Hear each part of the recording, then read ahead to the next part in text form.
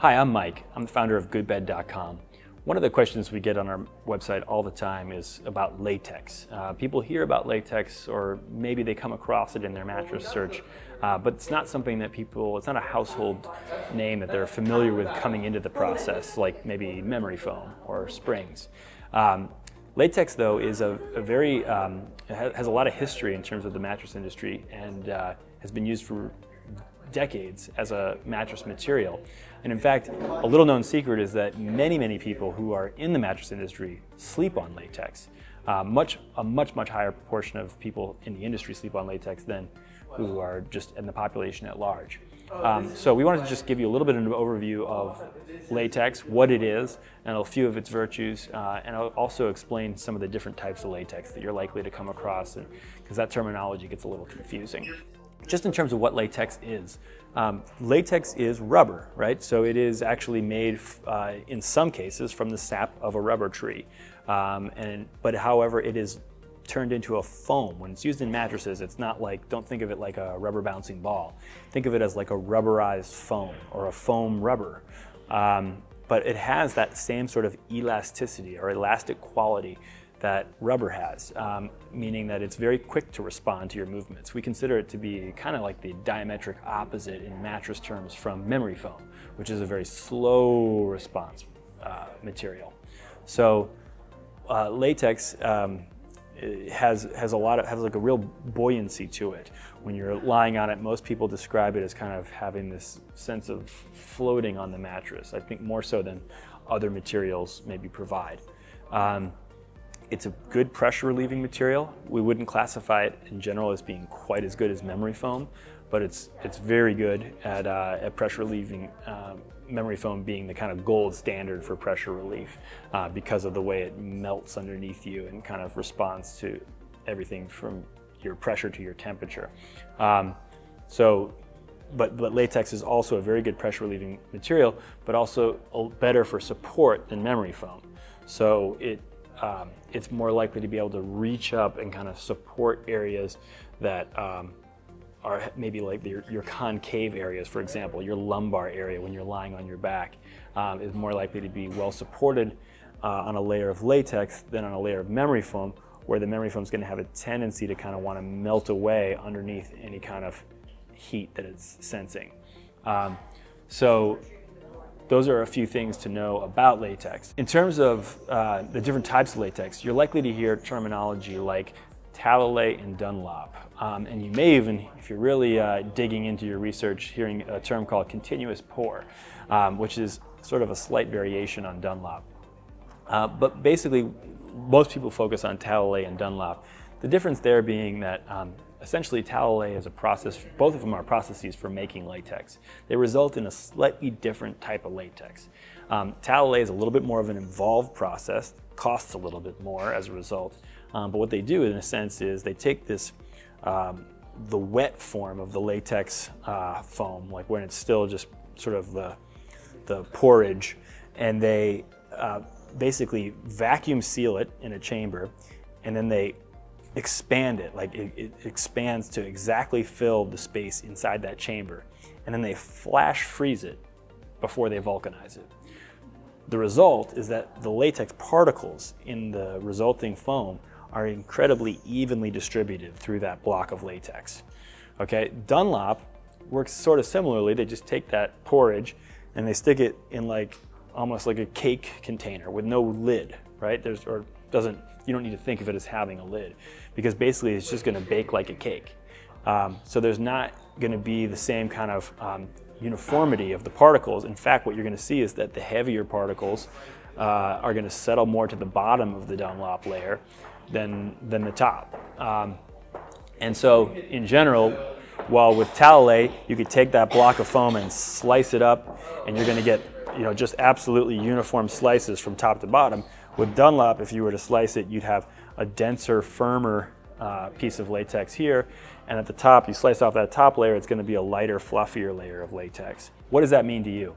Um, well, really what it, all it means is that with Talalay, you're gonna get a bit of a softer, you, you know, well, if you're looking for soft feel, you're gonna have better, Talalay manufactured latex has a more ability to achieve like a really soft feel through latex than, than a Dunlop process does.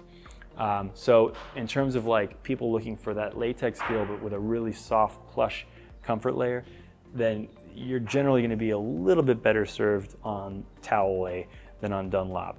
Um, Dunlop, however, is in a way has a lot of advantages as a support layer.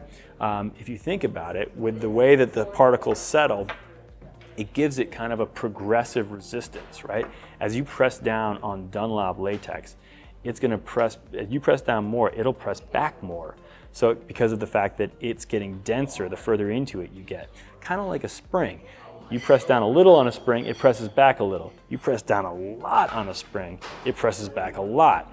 Dunlop latex is more spring-like in that respect, which in a sense gives it an advantage from a support standpoint. It's not to say that Talalay is bad for support, but I think it's fair to say that Dunlop has some advantages when used in the support layer, just by the same token that Talalay has some advantages in the comfort layer. You can have a mattress that's great, made from all Dunlop or all Talalay. I'm only giving you just sort of the nuances of like where there might be certain tiny advantages uh, to, to, to, one way or the other. But I may have buried the lead here, but the true distinction that we think is actually more meaningful when it comes to latex is less about Talalay and Dunlop, and we really don't even focus on that at all. We focus on the degree to which it is natural versus synthetic, because we consider that to be the more meaningful distinction um, to most people. Because the distinction there is you have three types of latex. You have synthetic latex, which is actually a petroleum-based product, just like polyurethane foam, that is made to emulate the exact characteristics of latex. I mean, it is latex, it's just artificial, synthetic. Then on the other end of the spectrum, you have 100% natural latex, which is literally made from the sap of a rubber tree. They made that porridge from the sap of the rubber tree. And then in the middle, you have what they actually confusingly call natural latex, but if they don't call it all natural or 100% natural, they just call it natural, it means it's actually a natural blend. We on our website, goodbed.com, we always call it natural blend when we know it to be a blend, not natural, because we think that's a misleading term. But you should know that when you're in a store or looking at a manufacturer's website, if they just call it natural, it means it's probably about 70% synthetic and only 30% actual sap from a rubber tree. Um, so those things we actually think have a pretty big distinction because for some people, um, having natural materials is a really important criteria. So the difference between natural latex and synthetic latex makes it a world of difference to them. That's not to say it's going to make a world of difference in terms of how it feels or how it performs over time. Um, but we think it's a meaningful distinction because of how important that particular criteria and preference for natural materials can be for some people.